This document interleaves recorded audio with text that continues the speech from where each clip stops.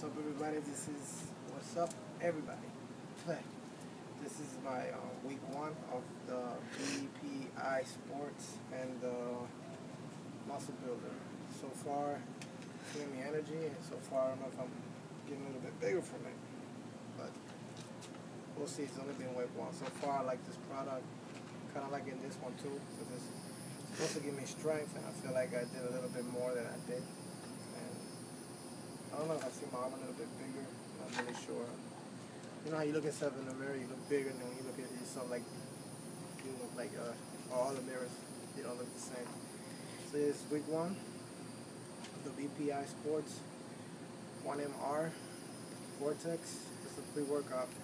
This is a muscle builder. It's supposed to be rapid muscle building formula.